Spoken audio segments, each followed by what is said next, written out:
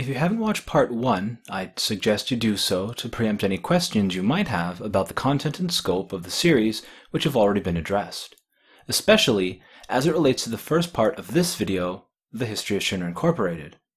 I will not be relying on the 10th anniversary Ultimania guide, easy as it would be, because this presupposes that the developers had this detailed history planned out. They didn't. Or, at least if they had, they didn't bother with its inclusion in the original game. What I think the Ultimania timeline represents is an effort to streamline divergent and contradictory information into a coherent whole across the whole breadth of the compilation series, and so is not useful in this analysis. Again, we're relying on what the text says, not what the developers intended. Let's mosey.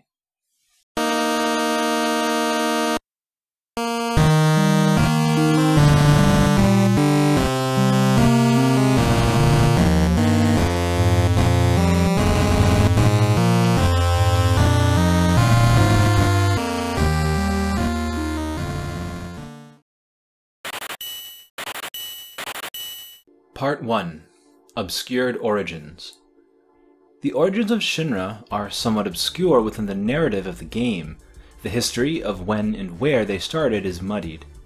We are told that they began as a weapons manufacturer, but during weapons development research, they discovered that the life stream could be extracted and processed as an energy source, and transitioned primarily into Mako production that the decision to create an obscure origin founded upon war is appropriate.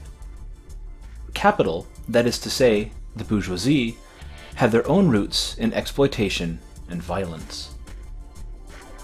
The current place amidst the production cycle, and therefore in society, which capital enjoys, is built upon a mythologized interpretation of history. This version of the past, which serves to reify contemporary socio-economic hierarchies as not only justified, but natural, is served by appealing to the idea of some nebulous bygone era. The distance from the past and from the real origin of wealth serves to dehistoricize analysis and criticism.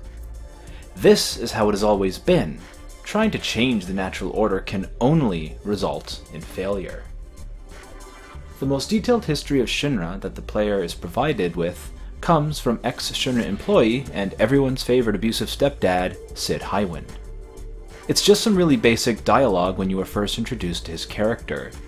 He explains that Shinra started out as a weapons manufacturer, and that this led to the idea of converting rockets into modes of transportation, even to the point where space travel became feasible. This expanded into the Shinra space program and ultimately led to the abortive launch of Shinra number 26. With the establishment of Shinra's global hegemony at the end of the meaningless war, they no longer saw the value in space travel and ended the program. All this to say that we have no determined start date for Shinra Manufacturing Incorporated, or whether President Shinra was himself the founder of the company or merely inherited it.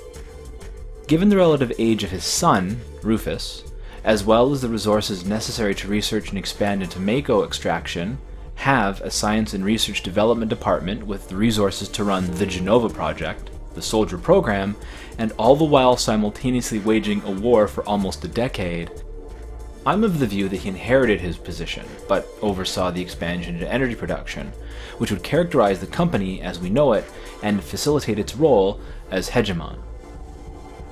If we take Shinra to be a stand-in, a metaphor for capitalism, which is kind of the point of this video series, we can begin to see how capital sees itself, as the victor in an ideological war which had spanned decades, but which had emerged victorious with the defeat of its final foe, connected to economic manipulation and military incursion. The victory of capital in the Cold War was, for its proponents, a foregone conclusion. This was the natural state of the world, the inevitable march of human progress, which had finally arrived at the end of history, its promised land. Part 2 Mako I don't care. I've called it Mako since I first read the word in 1997. I didn't let Final Fantasy VIII change the way I say Chocobo. I'm not about to change this. Anyway, the transition of Shinra from weapons manufacturer to electric company parallels the historic development of late stage capitalism in the real world. Late stage capitalism, as defined by Marxist economist Ernst Mandel, is characterized by the shift from what he called monopolistic capitalism, characterized in Japan by Zaibatsu, to globalization, multinational corporations, and economies built around mass consumption. The former capitalist mode focused on international markets through the lens of imperialistic adventure and the oppression and exploitation of colonial territories. Shinra emerged from the war as the single authority, the sole superpower left. Going forward, any resistance to their position would be at the local level, not at a national level, so to speak. Their enemies were no longer organized armies, but small cells of rebel groups, and the occasional monster outbreak. It's worth pointing out that the Shinra military certainly didn't decrease with the coming of peace, but the soldier program expanded even more, and any resistance, even the perception of resistance, was met with the crushing authority of Shinra, of the state. Owing to its nature as a classically formulated JRPG, the existence of differing polities, to say nothing of countries, is nearly absent. You can sort of subsume the various villages and towns into city states, but even then, this falls far short of any meaningful relation to historic city states. Uh, outside of Wutai, and possibly Cosmo Canyon, the idea that nations exist is difficult to assert. That's okay. It is enough to assert that the position Shinra occupies is at the head of an imbalanced power structure. Shinra reigns over all, and even the last holdouts are barely hanging on. We'll talk about Fort Condor in another video. Returning to the text, Mako reactors operate by extracting Mako from a substance called life stream, a subterranean flow of the collective spirit energy of the planet. Through the extraction, compression, and processing of life stream, Mako energy is produced, which in turn generates electricity. Materia, likewise, is created through the condensing of Mako into a crystalline sphere, which can then be used to generate magic. While Mako is plentiful and relatively inexpensive, the process is ultimately unsustainable as there is a finite amount of life stream available. The process, in a very literal way, is killing the planet. Shinra is aware of this, having had one of the current authorities on the study of planet life, uh, Bugenhagen, uh, as an employee at one time, to say nothing of the science and research department. They simply don't care. Their goal is the accumulation of wealth at the expense of everything else. What the development and spread of Mako reactors represent is the ultimate victory for capital. Any other system, any alternative, had been stamped out. However, from a Marxist perspective, late capitalism is also when the contradictions inherent within capitalism would begin to emerge to such degree that successive crises would continually emerge until the system could not hold, and, inevitably, give way. Part 3 For Science The purpose of the capitalist mode of production is to extract as much value from workers as possible, while compensating them as little as possible. It is a system which incentivizes, even necessitates, exploitation. In the pursuit of maximizing profits, there are few things that owners will not do within whatever legal framework they find themselves in the drive to accumulate wealth and dominate markets can lead to some very dark places. There is a small village located at the edge of civilization in the world of Final Fantasy VII, Icicle Inn. Inside this cozy hamlet is a house where the player can view some video and audio recordings of a conversation between Dr. Gast and Ifalna, Aerith's parents. Through the game, we learned that Ifalna was the last surviving ancient, or Cetra, well, uh, prior to the birth of her daughter, anyway. The ancients, we are told, originally settled the planet, but wound up sacrificing many of their numbers early on when they fought against the calamity from the skies, the being which Gast would eventually come to name Jenova. Gradually, the Cetra became assimilated into wider human culture and society until only Ifalna remained. The Cetra, so legend had it, could communicate with the planet, and would one day find the Promised Land, a place of untold spiritual energy. This meant only one thing to the Shinra Mako. The Shinra had experimented with infusing humans with Mako energy. This was how the Soldier program was brought into existence. The Jenova project, however, found its genesis in trying to create someone with the abilities of the Cetra through artificial means, by implanting the fetus of a human woman with the cells of Jenova, who they originally believed to have been a Cetra instead of the parasitic alien it was. The experimentation with human lives was simply the quickest way of finding the Promised Land, which meant an even more plentiful source of Mako to exploit.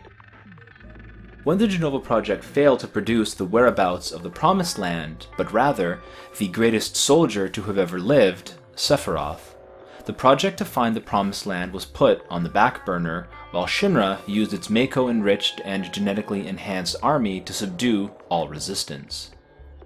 Dr. Gast, who had retired to Icicle Inn with Ifalna, and who fathered Aerith, was himself killed by Professor Hojo, who then kidnapped the pair.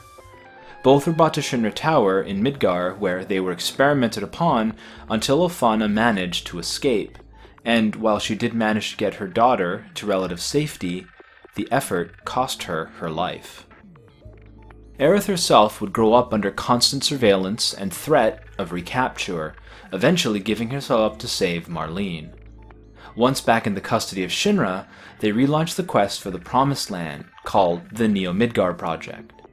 Shinra would justify its actions as being for the betterment of all, but of course, this would be a lie. If a place like the Promised Land existed, where Mako itself was so plentiful that it didn't even require forcible extraction, then all Shinra would have to do would be to funnel it and let the profits roll in. Shinra would still control access to the resource, despite it being incredibly abundant, and this would maintain, if not increase, their profits through the mechanism of artificial scarcity. Part 4 Whose Future? During the course of the main narrative, we learn about the hometown of Barret Wallace, Corel, and how they were all fooled by Shinra. Corel was a poor town which generated its wealth through the mining of coal and was the very last holdout among all of the towns to adopt Mako energy. Proud of their traditions and not wanting to abandon the way of life their forebears fought to protect, there was some initial resistance to the abandonment of coal. With growing financial pressure and few viable markets, Shinra came forward with a plan for a Mako reactor and with a promise of a better tomorrow. Any hope of independence from Shinra would have been tied to their ability to turn a profit, but they had been outmoded, their way of life made obsolete. What kind of future could they offer their children with their only means of earning a living gone? Corel hitched itself to what was now the only game in town. It is worth pointing out that Shinra sought out the supplication of the citizenry of Corel. After all, they would need a labor force to construct a reactor and people to purchase Mako energy. Capitalism is repressive and violent, but relies on the veneer of civility and progress, the promise of working for a living and earning a wage. Ignoring that Shinra was the singular cause of the widespread abandonment of coal, was the architect of their own suffering, the people of Corel gladly accepted what Shinra had to offer. Most of them would not live to regret it. Not far from what is now North Corel, beyond the mountains, past the desert, and across a wide river, nestled in a dense forest, is the village of Gongaga, another small town where the footprint of Shinra is indelible. There had been a Mako reactor built, uh, very close to Gongaga actually. One year after the destruction of Corel, three years before the events of the game, the reactor malfunctioned, the ensuing explosion killed most of the people in the town, and what was left was a shell of its former self. No one from the Shinra asked the citizens of Gongaga's permission. They simply saw an opportunity and built their reactor. They appeased them with the same promise of a better world, of a bright and happy future. There are no traces, no hints of any sort of aid provided to the townsfolk by Shinra. All that is left is a town torn to pieces, both figuratively and literally. This is the great lie at the heart of capitalism that it, and it alone, can provide prosperity and progress. A path out of poverty for the working poor, an easier life for the middle class, a brighter future for all. The history of capital, the reality of a system which necessitates exploitation for the accumulation of wealth, which uses the promise of happiness to justify suffering, will leave as many Corels and Gongagas in its wake as is necessary to ensure that it retains its place in the hierarchy. When the system fails, when disaster strikes and people are made to suffer, it's not the capitalists who feel it. They are insulated from such things. There are always other reactors, other towns to exploit, other markets to cultivate. When capitalism inevitably fails to bring the prosperity which it promised, the people will at best be abandoned, or, even worse, blamed for the failure inherent in the system, and made to suffer for it. Part 5 The Meaningless War The village of Wutai is located to the extreme west of the world of Final Fantasy VII. A lone settlement on its continent, Wutai had existed independently from the rest of the world until they refused to allow Shinra to construct a Mako reactor. It's speculative, but based on the history of how Shinra negotiates with towns, I'm sure there would have been many promises made and guarantees given. Wutai still refused. When trying to cajole the leadership with the economic uncertainty of a life without Mako, they still refused. When negotiations and economic pressure failed to achieve the result Shinra desired, they started a war. The war would consume the planet, drawing in citizens from around the world to fight for Shinra against the people of Wutai. The war was not fought out of self defense or in defense of some smaller polity under the protection of Shinra. The war was not fought in retaliation for some atrocity which was committed by the people of Wutai. It was fought because Wutai said no. At first blush, this seems like an utter waste of resources and effort on Shinra's part. What is one small, isolated town on the other side of the world compared to the near global hegemony that Shinra maintained? What Wutai represented was resistance, a refusal to bow to Shinra's hegemony. An example to the world that life without Mako, without Shinra, was possible. Wutai was not an economically depressed town like Corel, and had access to enough resources and military strength to resist Shinra for years. It took the full force of Shinra, their army, soldier, and Sephiroth to finally bring the war to its end. What had victory cost? Wutai was devastated. Transformed from a town which could stand against Shinra, resist them for years, to a town which relied upon tourists to make ends meet. Tourists, it need be noted, who were now coming from the wealthier parts of the world. Its leadership was demoralized, its population cowed, and its children riven with dread about what sort of future they had to look forward to. On the other hand, the population that had been conscripted into the Shinra war effort fared little better. The manpower and resources required to maintain a conflict far away from any sort of home front of moving troops across continents would have been massive, and surely Shinra wasn't about to shoulder that economic burden alone.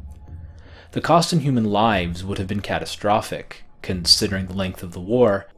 Aside from the citizens of Wutai who would have died defending their homeland against the Shinra, the conscripted troops would have certainly seen the highest casualty rates. We only learn of one of them by name, because his widow would raise the orphaned Aerith. What material benefit did Shinra see from the war effort? what did an almost decade long conflict actually achieve? The propaganda, for one. It was, after all, one of the theaters which saw the deployment of Soldier. Most notably, this is where the legend of Sephiroth began, a towering figure of the battlefield whose heroism would inspire a generation with hopes of their own heroic futures with Shinra. The necessity of the system to recreate itself, to keep it going by inculcating the children of the next generation, was certainly worth the effort. Other than this, and the devastation I mentioned above, though, nothing. The original cause of the conflict was that Shinra wanted to construct a Mako reactor but after the war, they didn't. There is no Mako reactor in Wutai. Why not? This was just the pretense, the ruse, the argument from civilization every imperialist nation makes to justify the invasion of another which it sees as being uncivilized. The war was about dominance, about the finality of securing hegemony over the whole world. It was a show of absolute force, of crushing any trace of a future without Mako, without Shinra. After the conclusion of what Sid called the meaningless war, there would be no mass organized military opposition to defy Shinra. Part 6 The Shape of the World The political landscape of the world of Final Fantasy VII is, as I have mentioned earlier, rather difficult to adequately organize in such a way as to draw direct comparisons to the real world and history. Having to work within the limitations of the game's mechanical separation of settlements as event hubs means that speaking of each separate town as a nation or state is difficult. Even looking at towns like Wutai, one boggles at the sheer smallness of it. As such, certain liberties are expected to be taken by the writers, a suspension of disbelief may be required to support the narrative of the massive year spanning war which engulfed the world. Consider the town of Junon, which is effectively a massive artillery battery, housing what was effectively the strongest single weapon Shinra had at its disposal the Mako cannon. Powered by the underwater reactor, it is able to fire Mako infused shells across whole continents. The origin of the cannon is not explicitly discussed in the narrative of the game, but inhabitants of the small fishing village located at its southernmost base state that the current city of Junon had been constructed during the Meaningless War. As such, it stands to reason that the Mako cannon was constructed to menace Wutai, but there is nothing to show that it was ever actually used to shell the town. Surely, a weapon of this magnitude could have simply wiped Wutai off the map with a few bombardments.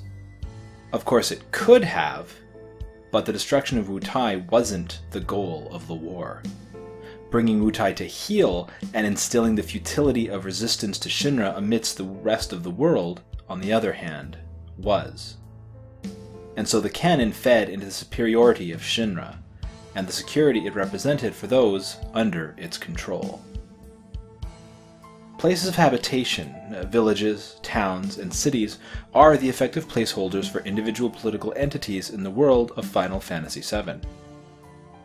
Many towns have mayors, some other titular heads, or council of elders, which represent the only surface level representation of political organization we encounter.